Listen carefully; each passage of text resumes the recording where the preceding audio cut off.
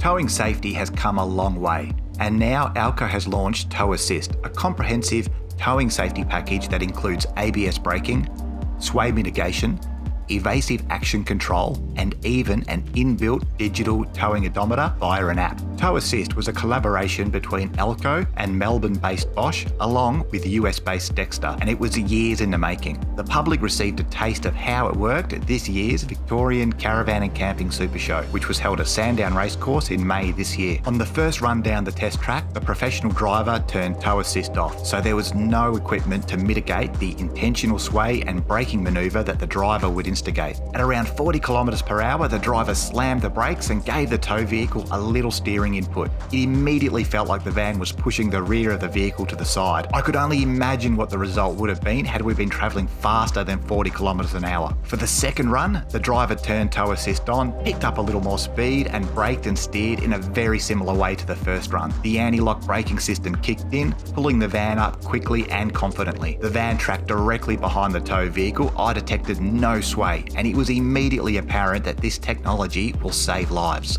Tow Assist ABS function can pulse the brakes up to 40 times per second, preventing lockup and providing the best stopping power and stability possible. The system reacts in milliseconds and controls each wheel individually. Evasive action control is another key feature of Tow Assist. It will automatically detect sharp steering input and quickly apply and disengage the van's brakes as necessary for the driver to maintain control. Meanwhile, the sway mitigation function intuitively reacts with appropriate opposing braking force when it detects a sway event. And then there's the towable odometer, which is mileage tracking of the caravan with the information displayed on a smartphone app. The benefit here, well, it allows the owner to identify appropriate maintenance intervals for their caravan. Now, this is the first time that Australian caravanners have been able to access combined anti lock braking and sway mitigation technology. The system involves an ECU which is mounted on the centre line of the trailer's axle set. A plug and play wiring harness is included, as are sensors that need to be fitted to each braked wheel.